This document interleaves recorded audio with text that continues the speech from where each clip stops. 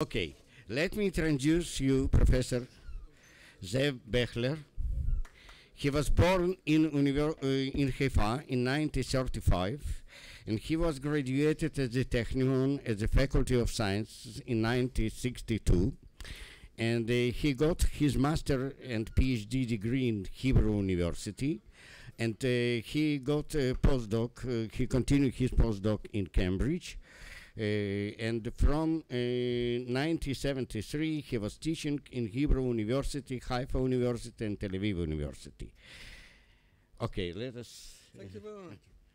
רבע שעה לפני ששתה את כוס התרעלה, סיים סוקרטס להטיל בשקט פצצה שתתניע מיד את המהפכה המדעית הראשונה, ואשר לאחר כ-2400 שנה תוליד את המהפכה האיינשטיינית ואת המאה העשרים כולה על אסונותיה ופלאיה. ואלה היו המילים שלו. אינני מבין את יתר הסיבות המחוכמות האלה שהמדענים מנסים להסביר לי, ואין בידי להשיגן. ואם אומר, אומר לי אדם על דבר מה מן הדברים משום מה הוא יפה, אם בשל צבעו הרענן או צורתו או כיוצא באלה, מושך אני את ידי מכל אלו שהריני מתבלבל בכולם. ורק בזאת אני מחזיק בפשטות ובישרות ואולי בתמימות. ששום דבר אחר איננו עושה את הדבר יפה, אלא היפה הוא ההוא אשר נמצא לו או אשר השתתף לו או אשר הגיע אליו בכל דרך שהיא. הדבר היפה נעשה בגלל היופי. שעל כן אינני מוסיף לקבוע בוודאות, בוודאות כלום מלבד זאת שכל הדברים היפים יפים הם בגלל היפה. שזאת הדרך הבטוחה ביותר לענות לעצמי ולאחרים ובדרך הזאת נראה לי שלא אכשל לעולם אלא אוכל לענות בבטחה שהדברים היפים הם יפים בגלל היפה. הוא הכריז כאן על עמדה שכמוה העולם עדיין לא הכיר והיא שהסברים סיבתיים הם חסרי משמעות ויש לוותר עליהם מכל מקול וכל. הם מבלבלים, הוא אמר. הוא הביע טעם אחד בלבד לעמדתו, והוא שאין בעולם הממשי סיבה שגורמת את האירוע או את המקרה הזה כאן. כי האירוע הזה לא היה מתרחש לולי ליוו את הסיבה הזאת עוד אין ספור סיבות היקפיות שאנו קוראים להם ביחד התנאים ההכרחיים.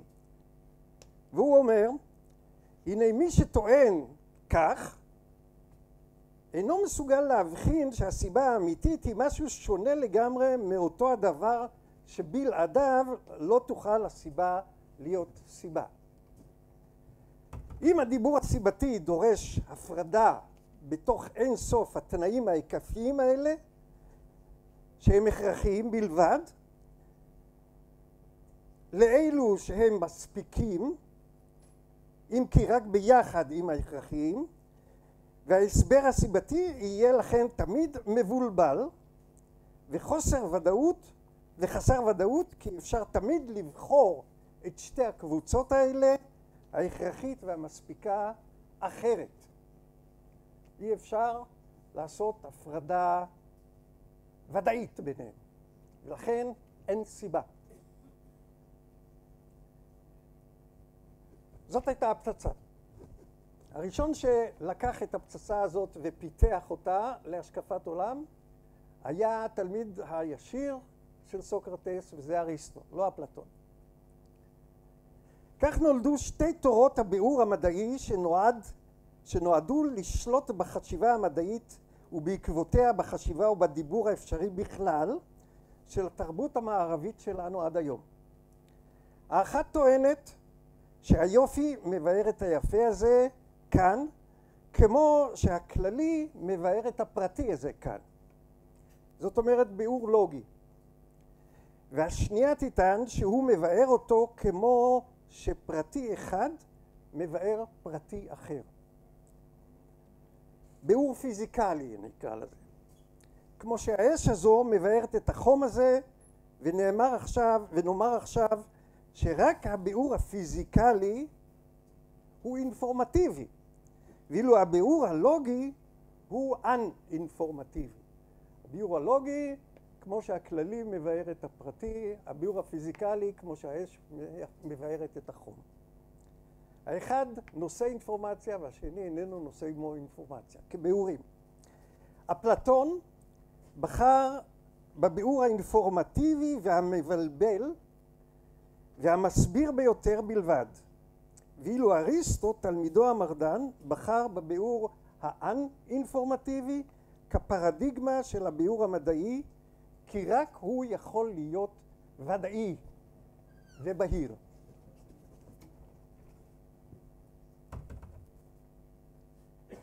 בצד האריסטוטלי הזה הפך המדע כולו לטענה הכרחית לוגית ולכן בהכרח גם ריקה מאינפורמציה. את האינפורמטיביות אריסטו אפיין בביטוי להגיד דבר אחד על דבר אחר, זה אינפורמציה.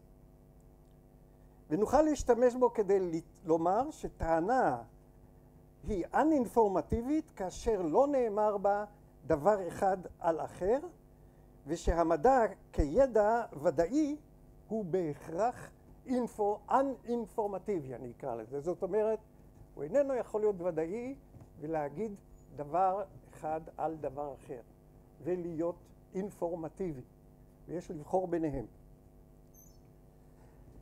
תוצאה חשובה אחת של התואר וההכרחיות הלוגית של המדע האריסטוטלי הייתה שהוא חייב להימנע מהנהגת כוחות מניעים כביאור לתהליכי הטבע מכיוון שבביאור כזה ייאמר דבר אחד הכוח על דבר אחר הדבר המונע והוא יהיה לכן ביאור אינפורמטיבי ולכן חסר ודאות ולכן אסור. המסקנה הייתה מהפכנית. הטבע שהמדע מבקש לשקף אין בו אילוצים חיצוניים או אילוצים פנימיים ולכן תהליכי הטבע מונעים על ידי עצמם ורק על ידי עצמם. כלומר מתוך הכרח שנקרא לו לוגי, בניגוד לפיזיקלי. המדען האריסטוטלי ראה בכוחות יצורים מדומיינים כי הם אינם אקטואליים לחושיו והוא ביטא זאת כשהסביר שהאבן נופלת מעצמה, הוא היה אומר, או מטבעה או על פי טבעה וזהו הביאור על פי הטבע הביאור הזה אומר שהליכי הטבע הם הכרחיים לוגית ולא דינמית.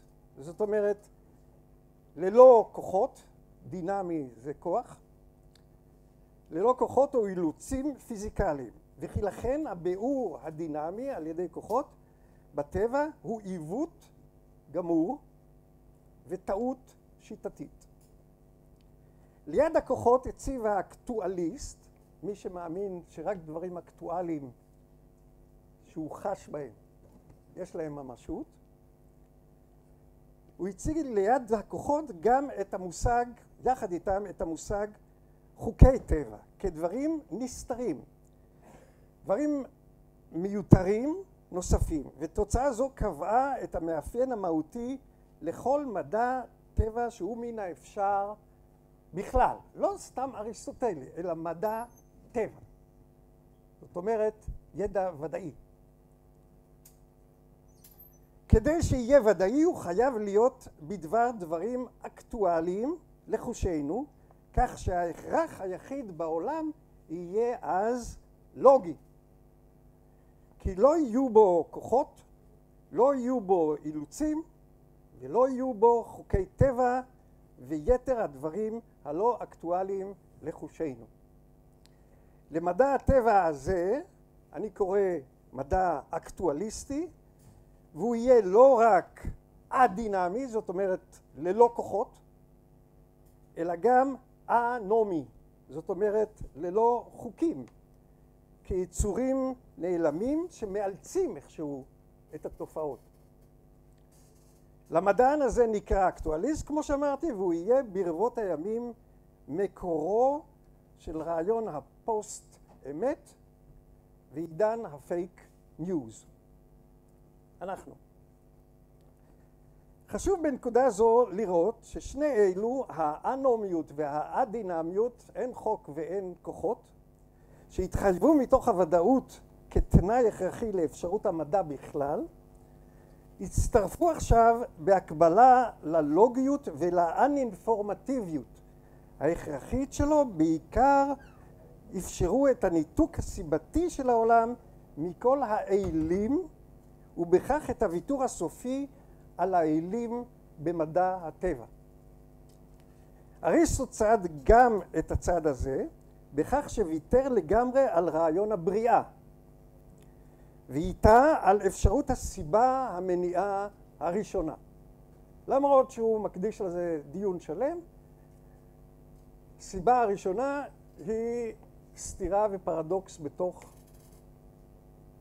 מבנה המדע, לפי דעתו. הוא ביטא זאת בכך שהפך את האל לסיבה תכליתית בלבד, שאליה העולם איכשהו משתוקק, אבל זאת סיבה שאיננה התכליתית, שאיננה פועלת על העולם. ולצידי הפיכה זו הוסיף והסביר היטב שהסיבה התכליתית אינה מניעה כלום, אלא היא רק סיבה לוגית. זאת אומרת, כאשר אתה רוצה לערוך הסבר אה, סילוגיסטי, אתה מצרף אותה כסיבה, אבל היא איננה פועלת. בכך הובהר לקורא שאין לאל שום תפקיד בהנהגת העולם, והמסקנה הייתה שכלום לא ברא אותו, וכלום לא מקיים אותו, וכלום לא מניע אותו. אלא הוא קיים מעצמו, העולם, הוא מניע את עצמו, וכך אינו תלוי בשום דבר מחוצה לו. העולם אוטונומי לחלוטין. כך למשל, חמשת היסודות המפורסמים של אריסטו שמרכיבים את עולם החומר, נעים לפי דבריו מעצמם. הם נעים אל מקומותיהם הטבעיים, אבל מבלי ששום דבר מניע אותם. הוא לא מניע אותם לא מבחוץ, לא מבפנים.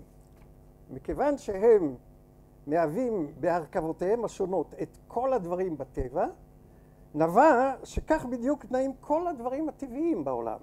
כלומר, מעצמם ללא שום מניע, לא פנימי ולא חיצוני.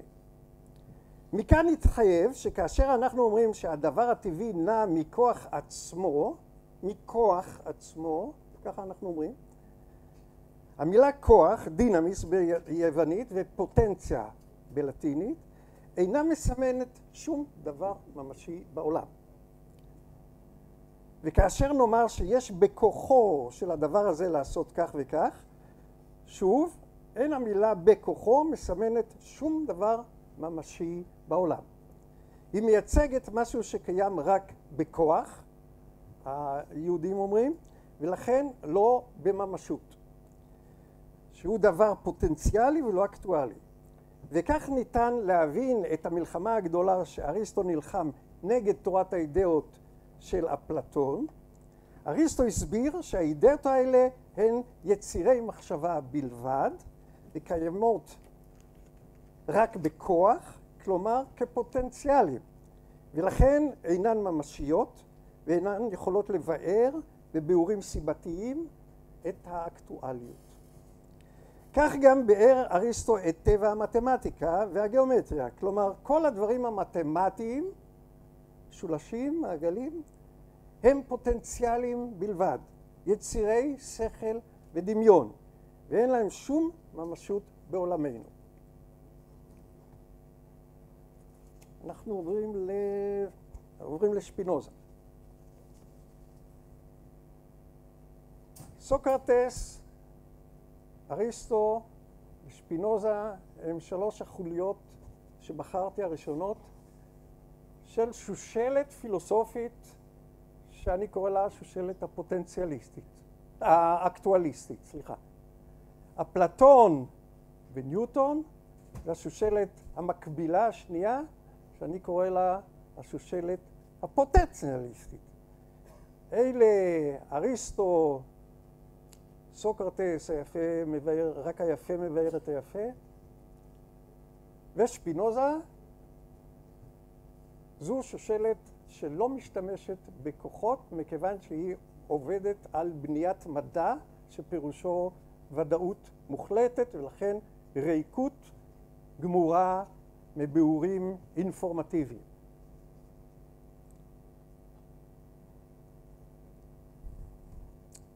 שפינוזה נכנס לסיפור הזה כי הוא זה שפיתח את הנוסח המודרני הראשון של האקטואליזם של אריסטו, ישירות, ישר מתוכו. כאילו לא עברו אה, אלפיים שנה בינו לבין אריסטו. האתיקה של שפינוזה, הספר, פורסם עשר שנים לפני שניוטון פרסם את הפרינקיפיה שלו. ובכך היו שתי היצירות האלה לסמלים המודרניים של שתי פילוסופיות המדע הגדולות עד היום. את האקטואליזם של שפינוזה ניתן להעמיד על שלוש התוצאות האלו. על זה? כן. הטבע הוא שלם ועצמאי ואין לו סיבה מניעה ראשונה או אחרונה שהיא תכליתו, אלא הוא קיים מעצמו ומניע את עצמו. אם תרצו תוכלו לקרוא לטבע אלוהים, אם לא, לא. זה לא חשוב. העיקרון השני, בדיוק כמו אלוהים, גם לטבע אין חוקים שקובעים את מהלכו. אין חוקי טבע, ולכן אין בטבע כוחות שמאלצים את הדברים הטבעיים לנוע על פי החוקים. הסיבות וההכרחים והחוקיות והכוחות הם אמונות תפילות של ההמון, אמר שפינוזה. עד הסוף. סיבות והכרח וחוקיות וכוחות. אלו הם דברים פוטנציאליים בלבד, ולכן אין בהם ממש או אקטואליות. כאן יש uh, הערה, ומי שיתחשק לו יכול לקפוץ להערה, ושם יש מיליון ציטוטים שמחזקים את כל מה שנאמר כאן מתוך שפינוזה. בדוגמאות של כל המושגים והאמונות התפלות של ההמון, שפינוזה הכניס את הדברים הבאים. אלה הם אמונות תפלות של ההמון. טוב ורע, חטא ומידת הזכות, שבח וגנאי, סדר וערבוביה, יופי וכיעור. את הרעיון שהאלים כיוונו הכל לשימושם של בני האדם, או האמונה התפלה שאלוהים פועל למען תכלית, כל אלו הן רק אמונות תפלות של האדם. חשוב ביותר לראות שהוא החזיק לכל אורך האתיקה שסדר ואי סדר בטבע גם הם אינם אלא יצירי דמיון שנפשנו ממציאה לעצמה ואין להם שום ממשות בעולם האקטואלי. אין סדר ואי סדר. שפינוזה לא ריכך או ביטל, לא ביטל את קיומו, לא, סליחה, שפינוזה לא ריכך את ביטול קיומו של סדר בדברים ולא סייג אותו על ידי שום הצעה בדבר מין אחר של סדר, אלא להפך, הוא יבהיר שמושג הסדר בטבע אינו יכול להורות אל שום דבר המצוי בדברים, זאת אומרת נפרד מהנפש. ולאחר שהסביר שהטלאולוגיה, תורת התכליתיות העממית, גם היא אמונה במין סדר, אשר מייחסים אותו לכוונת אלוהים ולרצונו ודמיונו, הוא המשיך והרחיב את טיעוניו בקשר לכל יתר המושגים שמנה. זאת אומרת, אין הבדל בין הטוב והרע, אין הבדל בין היפה והמכוער, אין הבדל בין אלה לבין המתוק והחמוץ הם כולם יצירי נפש בלבד. ואני מכיר את הקטע הזה שלו. האתיקה, לא, זה לא הקטע. אה, אני מסיים, אני עובר עכשיו לאתיקה של שפינוזה. כן, רק מילה אחת קטנה. מה יוצא מפיזיקה כזאת? איזה מין אתיקה יוצאת מפיזיקה כזאת? אז האתיקה שנבעה מהעקרונות האלו הייתה לכן אתיקה ללא ערכים, אין טוב ורע. כשם שהפיזיקה הייתה ללא חוקים. אין חוקים ואין כוחות. הטריק היה שעולם ללא כוחות הוא גם עולם ללא אלימות. זה הטריק הגדול של האקטואליסט, באתיקה שלו. הוא ללא אלימות, כי הוא ללא טוב והוא ללא רע. במקומם יופיעו, יופיע הטבע והטבעי והמעצמו בלבד, ולכן כל מעשי האדם נעשים מתוך חופש גמור, כי הם תמיד נעשים מעצמם, כלומר מתוך חופש וללא אילוצים. מופיעה כאן ההגדרה שבע מתוך החלק הראשון של האתיקה, שבו הוא הגדיר מה זה חופשי. חופשי נקרא זה אשר נכרע לפעולה על ידי עצמו בלבד, ואילו הכרחי או אנוס הוא זה הנכרע על ידי אחר לפעול באופן מסוים. זה חופשי. ומתוך ההקדמות שאמרנו עד עכשיו, כל הדברים בעולם הם חופשיים, והאדם לכן נע באופן חופשי לחלוטין, ללא אילוץ וללא כוחות.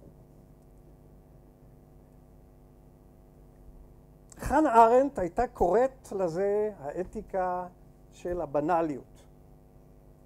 תורת המדינה והחברה של שפינוזה תאומץ לכן על ידי כל עריצי העולם וכל משמידי העמים שהכירו את משנתו מאז. הם כולם היו בעלי האתיקה ששפינוזה יצר.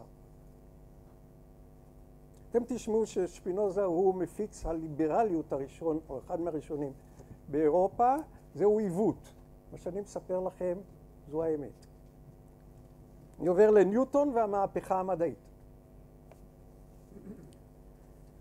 המהפכה של ניוטון היא מהפכת הנפרדות של הכוחות בפיזיקה. כתוצאה מזה, הכנסת או יצירת פיזיקה אינפורמטיבית ראשונה, ויצירת המסורת האינפורמטיבית בפיזיקה. המהפכה המדעית הייתה יצירת פיזיקה שלפיה אין בעולם האקטואלי תנועה על פי הפיזיס, אלא רק תנועות כנגד הפיזיס, וזאתי הפיזיקה של אריסטו, פיזיס טבע. אין בעולם האקטואלי תנועות על פי הטבע, זה העיקרון הניוטוני הגדול. כל התנועות הן כנגד הטבע. כל התנועות הן תנועות מאולצות בלבד, שעבורן נדרש תמיד, עבור כל תנועה ותנועה בעולם, נדרש הסבר אינפורמטיבי. כל מצב תנועה או מנוחה של כל עצם בכל תנאי נגרם תמיד על ידי משהו אחר ונפרד מן הדבר הנע. לדבר הזה הוא קרא כוח. הכוחות הם דברים לא חומריים אצל ניוטון, הם נפרדים מן החומר, קיימים לחוד, הם פועלים עליו ומאלצים אותו לנוע למרות הנפרדות הזאת. המעבר מפיזיקה אקטואליסטית של אריסטו ושפינוזה ללא כוחות אל פיזיקה פוטנציאליסטית רוויית כוחות נפרדים היה המעבר מפילוסופיה אנטי אינפורמטיביסטית אריסטוטלית אל פילוסופיית הסבר אינפורמטיביסטית עד הסוף. זאת אומרת אין דבר שלא חייבים לבאר אותו על פי הטופס הזה. מעבר זה הוא המהות של המהפכה המדעית במאה ה-17 של ניוטון. מהות זו הוצגה בשלושת חוקי התנועה או העקרונות של ניוטון בראש הפרינקיפיה ואחר כך בביאור להגדרות המדריכים את הקורא בפירוש הדברים החדשים הנקראים חוקים או חוקי טבע. ההגדרה השלישית בפרינקיפיה אומרת שהכוח הפנימי, יש כוח פנימי, ויס אינסיטה, כוח ששוכן בתוכו, הוא כוח ההתנגדות, אומר ניוטון, שבעזרתו כל עצם חומרי, עד כמה ששוכן בתוכו הכוח הזה, ממשיך במצבו הקיים, יהיה זה מצב מנוחה או תנועה קצובה בקו ישר. והביאור הצמוד להגדרה הזו אומר כך: זהו כוח הפרופורציונלי תמיד לעצם שהוא הכוח שלו. ואופן אחר של הבנתו הוא להגיד שהוא אי הפעילות של המסה, שהוא מין כוח. ועל כן כוח פנימי זה, אומר ניוטון, אפשר לקרוא בשם המאוד משמעותי האינרציה או כוח האי פעילות. והמשך הביאור מוסיף עובדה מכרעת בקשר לטבעו של כוח האינרציה. אם כי הוא מעין כוח של אי פעילות הדואג רק לשימור המצב הקיים, הנה לפעמים הוא מתהפך ונהיה לכוח המופעל כדי לשנות מצב. יש טרנספורמציה של כוחות מסוג א' לכוחות מסוג ב'. כאשר עצם אחד מפעיל כוח המשנה את מצב העצם הנתון, הופך כוח האינרציה פתאום מפנימי לחיצוני. והוא פועל בתגובה על העצם האחר ומשנה את מצבו כאילו היה כוח חיצוני בלבד. ניוטון התווה כאן, בביאור הצמוד להגדרה השלישית, את הצעד המכריע באונתולוגיית הכוחות שבתוכה עוצבה תורת הגרביטציה. אפילו כוח האינרציה, שהוא כמעט בלתי מובחן מן המסה עצמה, הוא למעשה נפרד מן המסה הזאת, כי הוא מתגלגל לפעמים, מתהפך, עובר טרנספורמציות, ברגע ההתנגשות, בכל רגע ההתנגשות למשל. הוא הופך מפנימי לחיצוני, אך כדי שיוכל לעשות זאת, הוא חייב להיות נפרד מן החומר. שהרי החומר אינו משנה את טבעו במשך ההתנגשות, ולכן לא החומר שבעצם הנתון הוא שפועל על העצם האחר, אלא החומר עצמו הוא בעל תכונה אחת ויחידה, אי חדירות. ותכונה זו אינה משתנה במשך כל קיומו. ולכן מה שגורם לחומר לשמור על מצבו, להתנגד לשינוי מצבו ולפעול על חומר אחר, הוא ישות אחרת מן החומר, נפרדת ממנו אם כי צמודה אליו ומלווה אותו איכשהו בכל אשר ילך. העולם מכיל לפחות שני סוגי דברים נפרדים זה מזה, חומר וכוחות. זה המסר האונתולוגי הראשון המשתמע מחוקי התנועה, ההגדרות והביאור. נפרדות זו של הכוחות מן החומר מוצאת לפעמים גם ביטוי מפורט. למשל ניוטון הבחין בהגדרה שמונה בין אספקטים שונים של הכוח הצנטרופטלי על פי אפיון מקורו, התאוצה שאותה הוא גורם וכיוון ההנאה שהוא יוצר. את הכוח הצנטרופטלי מבחינת התאוצה תיאר כך, אלה דבריו. את הכוח המאיץ אני מייחס למקום של הגוף המואץ ורואה אותו כמין יכולת שיוצאת מן המרכז ומתפזרת לה ברחבי כל המקומות מסביב לו כך שהיא מניעה גופים הנמצאים במקום ההוא. כוח הגרביטציה המתואר כאן הוא הדוגמה המובהקת של כוח כדבר נפרד מן המסה. כי הוא נובע או יוצא ממסה אחת ועוזב אותה ומתפזר במרחב ושוכן בו, כך שהוא פועל על כל מסה אחרת שנמצאת במרחב הזה ולכן הוא גם נפרד ממנה. רק כתוצאה מאונתולוגיה זו אפשר מעתה לראות את הטבע כעולם אינפורמטיבי. כל תנועה חייבת להתבאר על ידי כוחות נפרדים שפועלים על חומרים נפרדים מהם וגורמים לשינוי או שימור מצביהם. אך בניגוד לחומר, כוחות אינם דברים שמופיעים לחושים. אנו מסוגלים לחוש רק בחומר ותנועותיו, ורק על פי אלו אנו מסיקים על קיומם של כוחות. אם אתה פוטנציאליסט ומאמין שפוטנציות אלה דברים ממשיים בעולם. יתר על כן, לא רק שכוחות הם ישויות שקופות לחושינו, אלא הם גם שקופים מטעם זה עצמו לדמיוננו. אנו איננו מסוגלים לצייר אותם בדמיון, מסך הווידאו הפרטי הזה שלנו, שבו אנחנו מפנטזים עולמות משונים כרצוננו. לימים יקרא קאנט לוידאו הפנימי הזה כושר ההסתכלות הטהורה או האינטואיציה והעובדה הפשוטה שכוחות אינם ניתנים להצגה או לגילום באינטואיציה הזאת תהפוך עבור קאנט בבוא הימים לקושי שידרוש לא פחות מאשר יצירת פשר חדש לחלוטין לפרינקיפיה של ניוטון. פשר שסותר את כל מה שכתב ניוטון וראה כהדרכה לפירושו. אך עבור המהפכה המדעית, כפי שמיצה אותה ניוטון כאן, לא היה זה קושי בכלל. הבנה שלמה של התיאוריה החדשה של העולם, ולכן הבנה שלמה של העולם, לא תהיה תלויה כלל ביכולת הדמיון שלנו. כל מה שיהיה חשוב בתיאוריה החדשה יהיה גם בלתי ניתן לדמיון. הכוחות, החוקים, משום שהוא יהיה לפעמים לא חומרי ולפעמים יידרש, ידרוש לקבל סתירה לוגית או, כחלק של העולם.